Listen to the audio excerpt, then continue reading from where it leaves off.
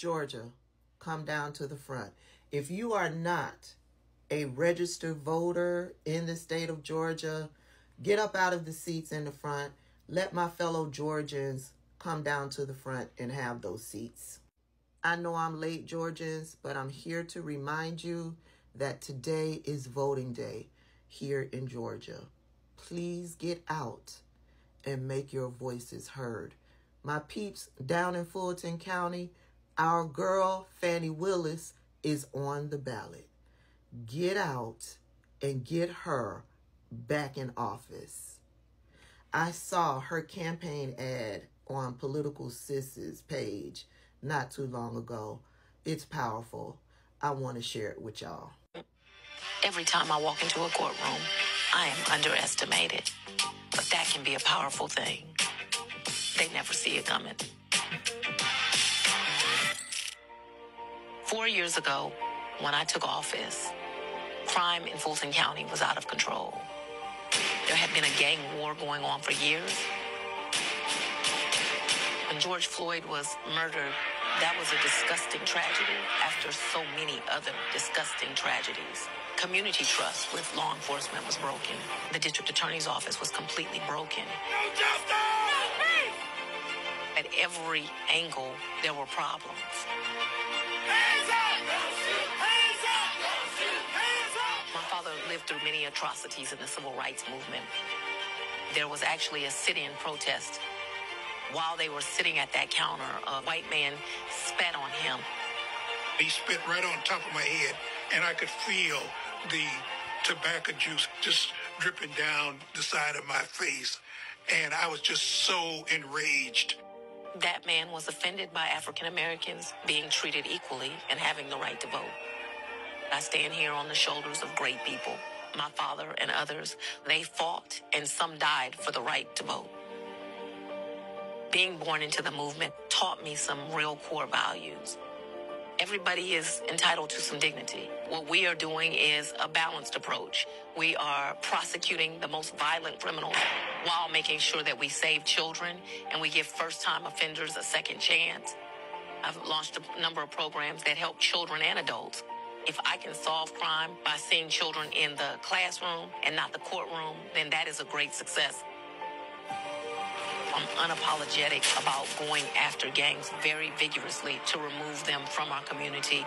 Fani Willis cracks down on gangs and drugs. Homicides are down more than 21%. Violent crime is down more than 25%. We have the third largest crime drop in America. People deserve to live free from crime. Women pushed around too long deserve to be free from fear. It is very important to me to defend every citizen of Fulton County's civil rights and their right to be safe. It doesn't matter to me how violent you are. I am not going to back down from prosecuting those that are wealthy or powerful. As all the attacks come at me, they don't understand what I'm built from, what fire I come from. I'm Fani Willis. Like I said before, I am always underestimated, but that can be a powerful thing. How powerful? If you break the law in Fulton County, you will be brought to justice.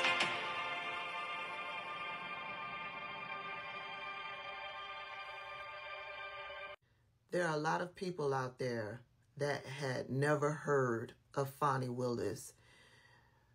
The first time of them hearing about Fani Willis is because of Donald Trump and his co-defendants.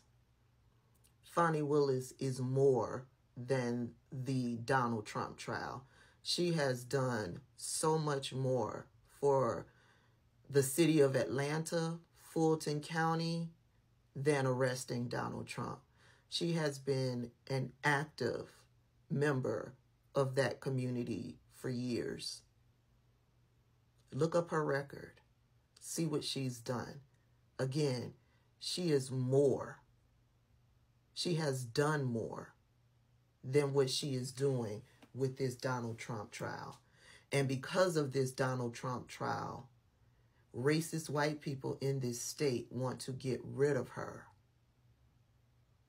They don't think about what she has done for the community.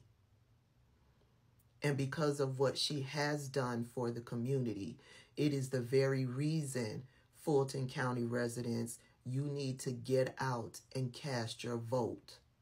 They are trying to get rid of a positive community member, a community member who has done so much and has given so much for our community.